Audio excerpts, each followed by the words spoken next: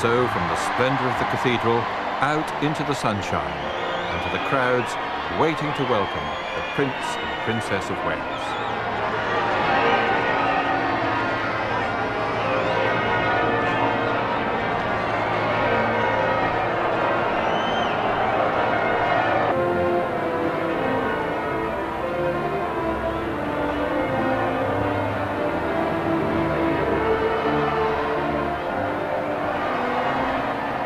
West door of St Paul's Cathedral, the families were there to see them off.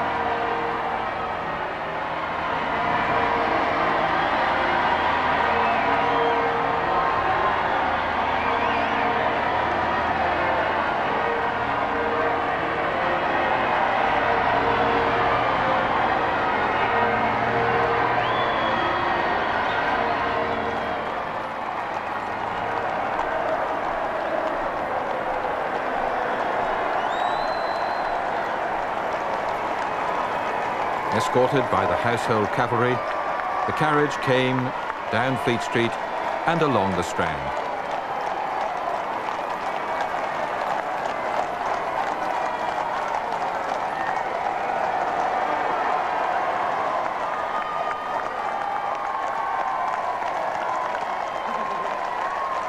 And at one stage, to the princess's delight, down came a shower of rice, who by now were filling the area around the memorial, pouring down the Mall, pressing right up against the railings of Buckingham Palace, waiting for that supreme moment, the appearance on the balcony of Buckingham Palace.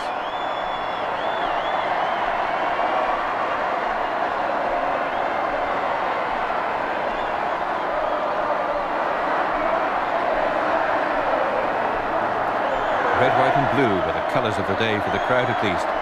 It must have been like looking down on a sea of flags for the prince and princess. For minutes, the cheers went on.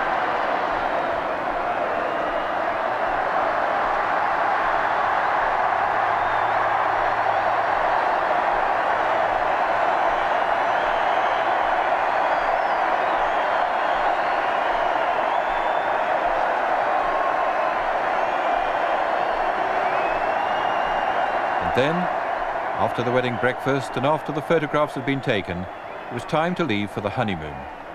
Time, too, for one more carriage procession, but this time a procession with a difference.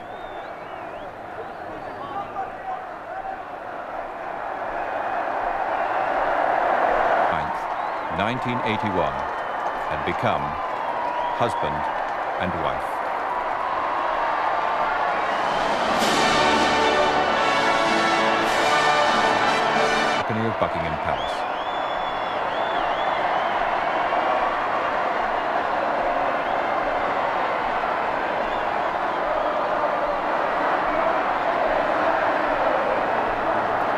Red, white and blue were the colours of the day for the crowd at least.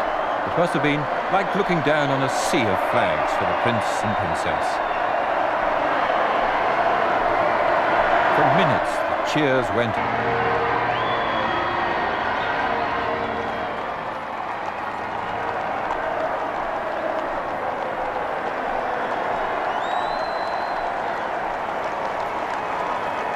Escorted by the household cavalry, the carriage came down Fleet Street and along the Strand.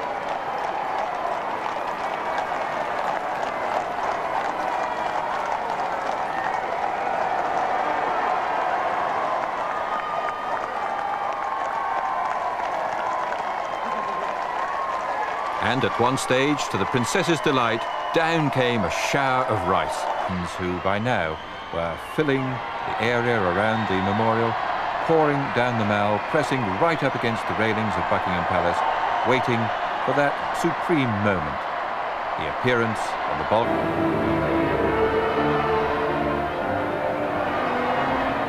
From the west door of St Paul's Cathedral, the families were there to see them off.